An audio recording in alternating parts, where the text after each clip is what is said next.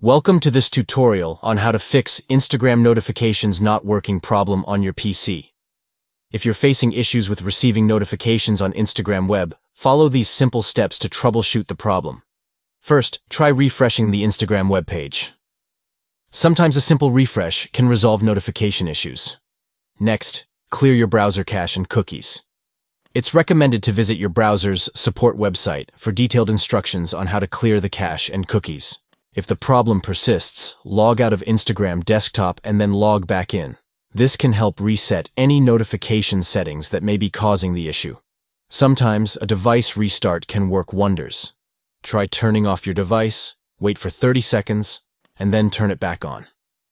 If none of the above steps work, consider connecting to a different network or using mobile data. A change in network settings can sometimes help resolve notification problems. By following these steps, you should be able to troubleshoot and fix the Instagram notifications not working problem on your PC. Remember to stay connected and engaged with your followers on Instagram. Thanks for watching.